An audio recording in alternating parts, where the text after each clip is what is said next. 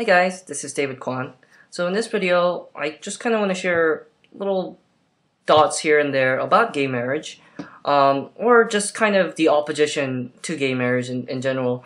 And I really think, it's, it's, in my opinion, it's kind of impossible to argue against um, people who want gay marriage to be illegal.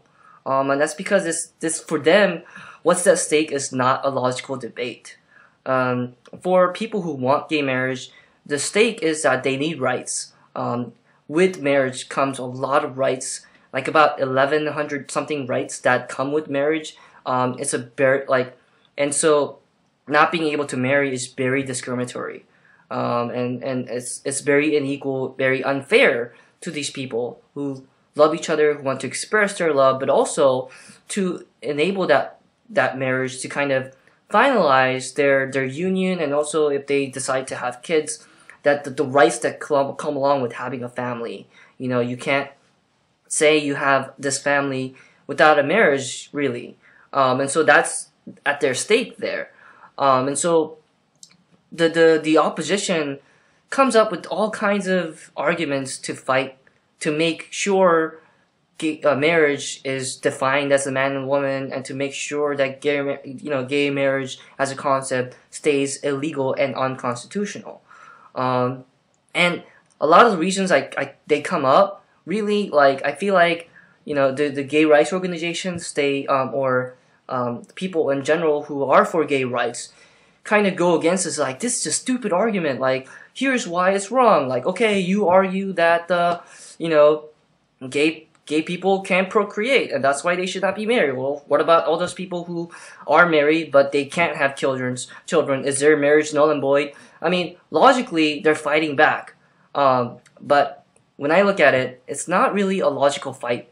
What's at stake for like the religious right in this in this debate? Um, I suppose is not you know is is different. It's it's very different. Um, what's at stake and I think that's that's my view coming from a background because I have a background of um, I, I did used to be this Jesus loving guy who was like I want to be a missionary when I grow up or I want to be a pastor when I grow up when I have the calling. That was me years ago. Um, and I did believe that you know being gay was a was a choice. Um, I don't think I've ever I, I never thought about homosexuality too much when I was uh, a born again Christian. Um, but it is something that I know my dad, um, he's a pastor, uh, and he believes homosexuality to be a sin. Um, so automatically, like, and as a sin, it's, it's, something that you choose. So that's the mindset the the opposition has.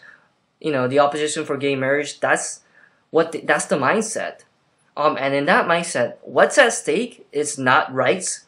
It's not a definition of marriage. That, that that's not what they're concerned about um, is that like, oh yeah, the the definition of a marriage is between a man and a woman, um, or that you know, or the states giving rights to gays. Um, what's at stake is the fact that they have to accept that homosexuality is not a sin. That's what's at stake. Um, it's a big thing because once gay, uh, once a gay person is allowed to marry another gay person, that Marriage is a symbol of finalization of love. That people, that a, a person of the same gender can love another person, and then here's a state decree saying, yeah, that's acceptable. That's the kicker here. Um, I think for someone like my dad, uh, something like that happening is just like holy, like you know, like that is wrong on so many levels, and it's that that they're fighting. Um, they they can't have it once that becomes legal social acceptance will follow. It'll be a, a tough battle, but it will follow. Once it's legal that, you know, uh, gay people can kind of come out in the open and say, I love you, I know you love me, let's get married. Um, and it's happening. You know, uh, not not marriage per se, but like coming out. I mean, and it's a personal thing. Um, politicians usually they start making decisions when it personally affects them. Um, once like people like there's this whole uh, legislation that opened up um, or made it easier for breast cancer research to to gain more funding and whatever. That legislation happened because that politician's daughter had breast cancer. uh, when politicians are affected personally, things start moving along really fast. Um, and that's why some politicians who are staunch, like, anti-gay people are suddenly like, oh my gosh, my son is gay or my daughter's gay. Yeah, I'm for gay marriage. You know, that shift is starting to happen. Um, and, you know, once you start actually interacting with gay people, you kind of start realizing that, like, yeah, it's not really a choice. um, I kind of, I was born straight, honestly. Like, I could try my best to force myself to like men in sexual way, but it's not happening. It's not a choice. I could try to, to make my like attraction to females. I, I try my best to like.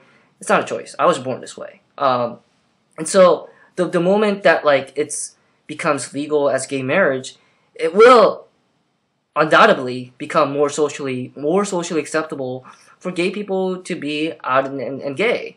Um, it's one of it's one of the only identities. Um, it's one of the few identities where it can be hidden.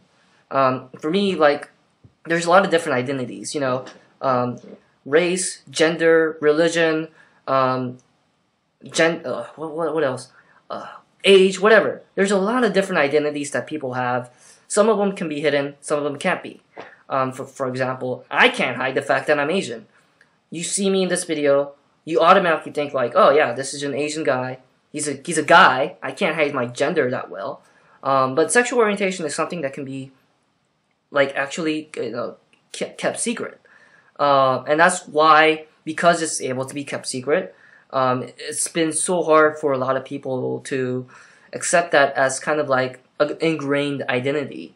Um, as this is like, oh yeah, like somebody can be, you know, if, if being Christian or being Jew or Muslim is a choice, then certainly being gay is a choice. That's the mindset that people can come to have, but it's not. You know, so that's what's at stake, I think, for the religious right or for anyone opposing gay marriage. Um, it's the all the arguments that we could bring up like, like for gay marriage.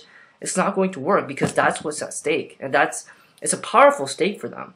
Um, and, and, it destroys a certain section of their morality too, or their ethics. You know, um, that they have this written down in their holy book that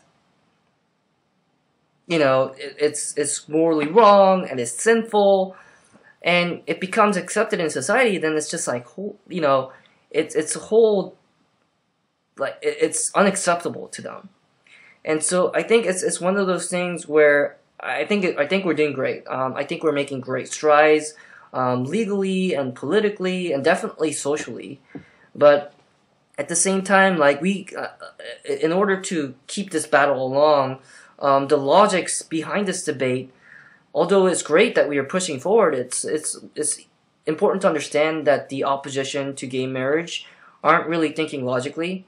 Um, it's a it's a very uh, um, for them the stake is so big that they're coming up with whatever excuses they can find to oppose it, um, and that's pretty much my point on gay marriage.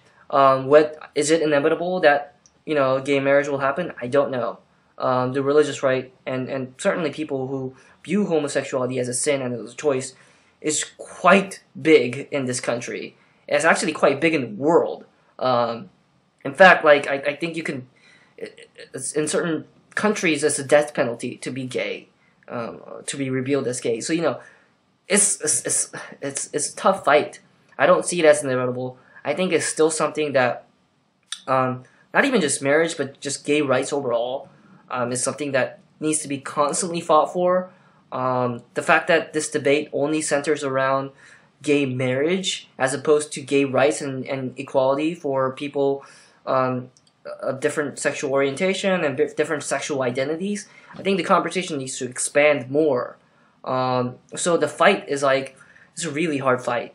I don't think it's inevitable. I think we need to keep progressing and trying our best um, and, and, and know that the fight is still raging, and know that the, the stake that the religious right or the opposition has is so big that they will do whatever it takes to to make sure something like gay marriage being legal doesn't ever happen.